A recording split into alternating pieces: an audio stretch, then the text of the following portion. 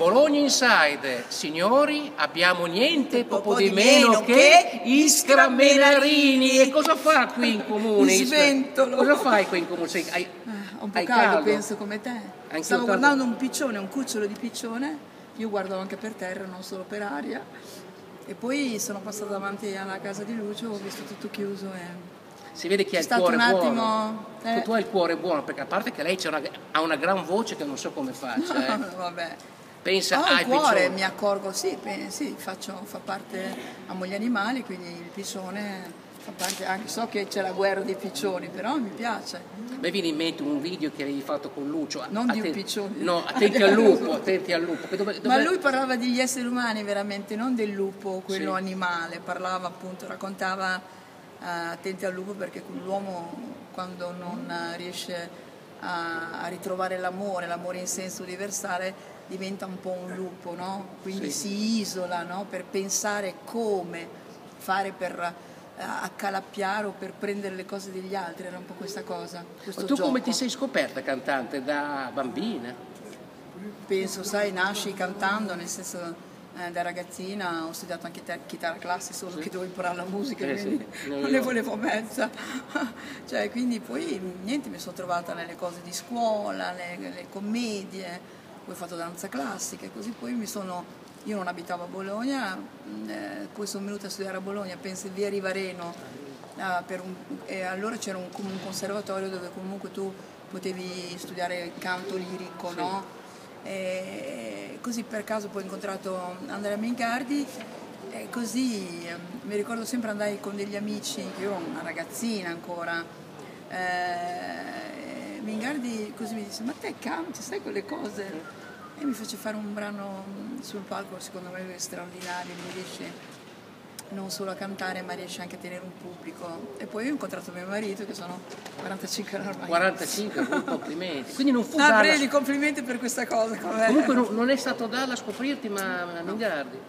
Beh, è una, è una dimensione talmente diversa. Io venivo dal blues al rock, io ero cantante di un gruppo che si chiamava Thompson, facevo rock di Bar, Blue Rave, Gentle Giant. eh, c'è un mondo sicuramente al maschile comunque molto affascinante fatto da una donna e poi è stato proprio per caso incontrarli io non seguivo la musica di Lucio sapevo che sai Bologna i cantautori non, è- non era proprio Sì. capito era un po' di nicchia il cantautore, poi alla mia età insomma eh, amavo altre cose. E poi è stato proprio per caso, ma tanto tempo dopo proprio, eh, diciamo così, la, la mia musica, ho trovato Lucio che eh, non ero più una ragazzina perché avevo 40 anni, quindi e il fatto che lui così mi ha, in una serata di beneficenza che c'era appunto anche Currere, tu pensi che io ho suonato anche con Currere quando erano le 5 lire, cioè intendi?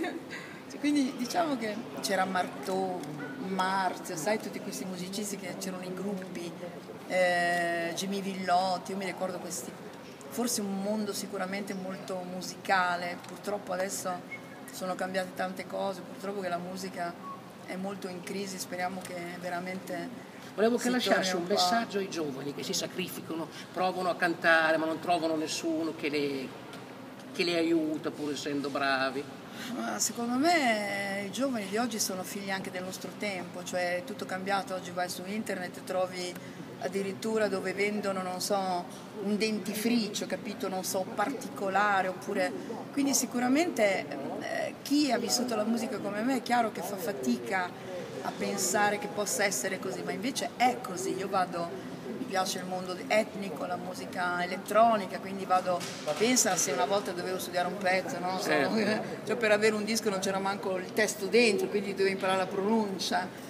E quindi sicuramente figlio del nostro tempo, i giovani sono esattamente questo, l'unica cosa che spero tantissimo, che Bologna ritorni la città della musica, l'UNESCO aveva dichiarato appunto in una serata in questa piazza con Lucio, eh, c'era Patti Smith, c'era eh, come si chiama, Renato Zero, c'erano tantissimi artisti e fu dichiarata dall'UNESCO città della musica.